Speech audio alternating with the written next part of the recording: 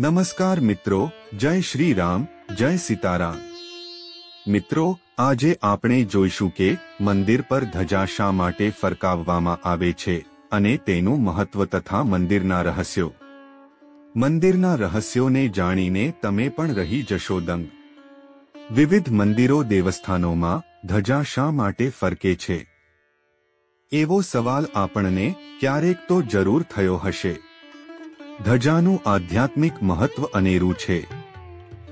ફરકતી ધજા મંદિર માટે અગત્યની છે. ધજા મંદિરના શિખર પર એક દંડમાં ફરકતી રહે છે. વરસાદ હોય કે પવન, પણ તે ફરકવાનું ભૂલતી નથી.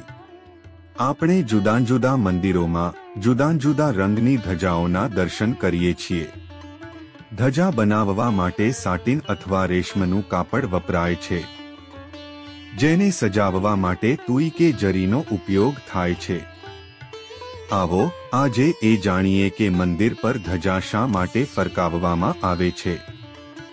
સાથે જ મંદિર સાથે સંકળાયેલી વિવિધ પ્રણાલીઓને પણ સમજવાનો પ્રયત્ન કરીએ.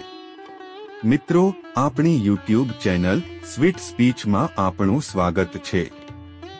આવા જ બીજા વીડિયો માટે ચેનલને હમણાં જ સબસ્ક્રાઇબ કરો.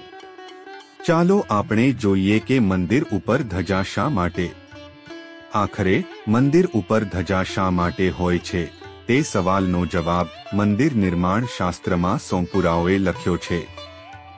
જે અનુસાર મંદિર એ દેવ શરીર સ્વરૂપ છે, એના પાયા એ પગ છે, મંદિરના સ્તંભ ઘૂંટણ છે, ગર્ભગૃહ એનું હૃદય છે અને તેમાં પ્રગટતો દીવો આત્માનું પ્રતીક છે.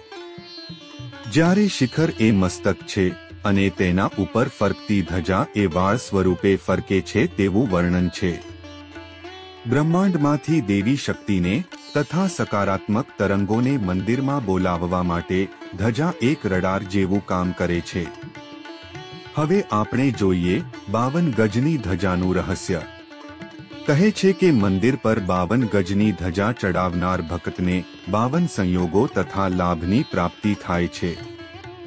આ ધજને મસ્તકે અડાડવાથી ચિંતા મુક્તિનો અનુભવ થાય છે. બાવન ગજની ધજાનો અર્થ આ પ્રમાણે છે, ચાર દિશા, બાર રાશિ, નવ ગ્રહો, સત્યાવીસ નક્ષત્રોનો સરવાળો બાવન થાય છે. જેથી એવું કહેવાય છે કે, કોઈ પણ મંદિરના દર્શને જઈએ ત્યારે ધજાના દર્શન અવશ્યથી કરવા જોઈએ. ધજાના મનોર્થથી ભક્તના મનમાં કાયમી અદ્વિતીય મીઠી યાદ રહે છે. ધજા માનવ જીવનને ધન્ય બનાવે છે. દ્વારકાધીશના મંદિરમાં ચડતી બાવન ગજની ધજા ચડાવનાર ભક્તને બાવન સંયોગો તથા લાભની પ્રાપ્તિ થાય છે. હવે આપણે જોઈએ કે શા માટે ચપ્પલ મંદિરની બહાર ઉતારી દેવાય છે. મંદિરમાં ખુલ્લા પગે પ્રવેશવું પડે છે. આ નિયમ વિશ્વના દરેક હિન્દુ મંદિરોમાં છે. તેની પાછળનું વૈજ્ઞાનિક કારણ એ છે કે, મંદિરના માળનું નિર્માણ પ્રાચીન કાળથી જ એવી રીતે કરવામાં આવ્યું છે, કે તે વિદ્યુત અને ચુંબકીય તરંગોનો સૌથી મોટો સ્ત્રોત છે. જ્યારે વ્યક્તિ આના પર ખુલ્લા પગે ચાલે છે, ત્યારે મહત્તમ ઊર્જા પગ દ્વારા શરીરમાં પ્રવેશે છે. હવે આપણે જોઈએ, આરતીની આસ્કા લેવાનો મહિમા. આરતી પછી, બધા લોકો તેમના હાથ દીવા અથવા કપૂર પર રાખે છે અને પછી તેને માથા પર લગાવે છે અને આંખોને સ્પર્શ કરે છે. આરતીની આસ્કા લેવાથી, હળવા ગરમ હાથથી દૃષ્ટિની ભાવના સક્રિય થાય છે અને વ્યક્તિને સારું લાગે છે.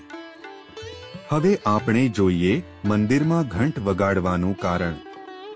જ્યારે પણ કોઈ વ્યક્તિ મંદિરમાં પ્રવેશ કરે છે, ત્યારે તે ઘંટ વગાડે છે.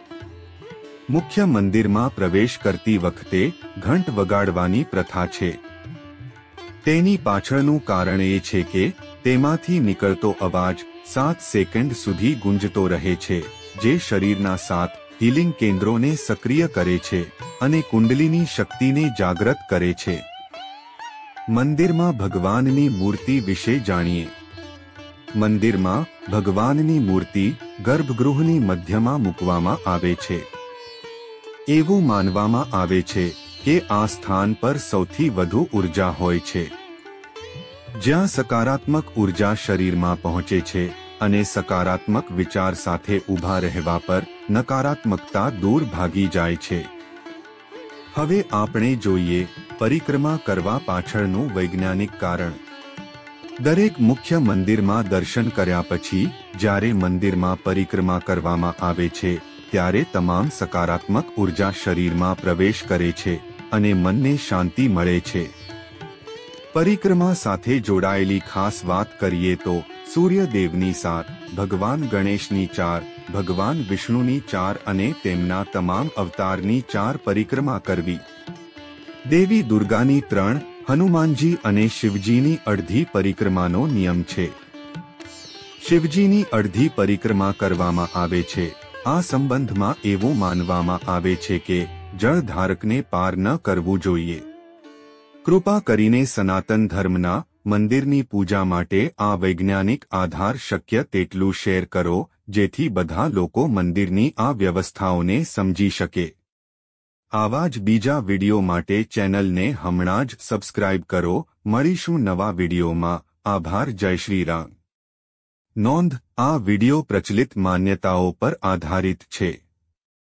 લોકોની જાણકારી માટે તેને અહીં રજૂ કરવામાં આવ્યો છે.